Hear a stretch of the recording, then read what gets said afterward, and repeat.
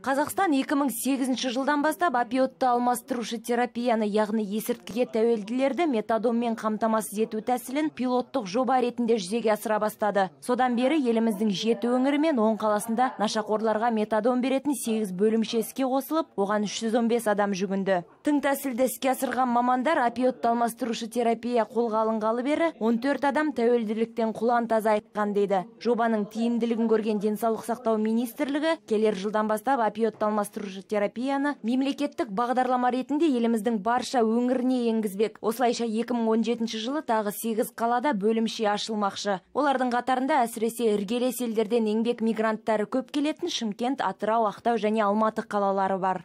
Планируем такой сайт. Метадонды тегін беретін бөлімше наркологиялық диспансер базасынан ашылады. Әзірге бөлімше дайындалу үстінде. Және оны жыл басында іске қосамыз деген жоспарымыз бар. Қазіргі күні метадонмен емделетін науқастардың тізімін әзірлеу үстіндеміз. Олардың басым бөлігі есірткіге тәуелділер. Дәрігерлер сөзінше метадон нашақорларды ең әуелі тамырға ине шаншып есірткі қабылдау тәуелділігінен арылтады. Соның арқасында спидке вич инфекциясына шалдығу қаупі төмендейді. Есірткіден бас тартып метадонға ауысқандар препаратты күн сайын бөлімшеден келіп өзіне белгіленген мөлшерін ғана қабылдайды. Күнделікті мөлшер 60 пен 120 миллиграмм аралығында. Препарат италиядан жеткізіледі. Дәрігерлер мұндай тәсілмен нашақорларды оңалту арзан дейді.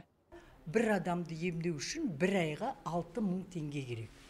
Ал егер метадонмен емес жаңағы больницаға салып наркоотделениеға салып емдесек оған біріншіден бір айдан алты айға дейін уақыт керек.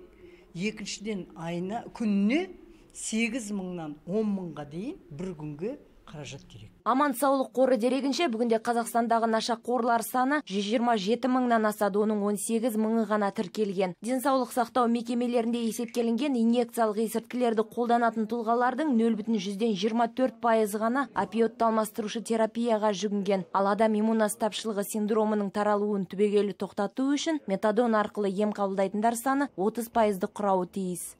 Айдана мейрамбайқызы рашид шүкірәлиев алматы телеарнасы.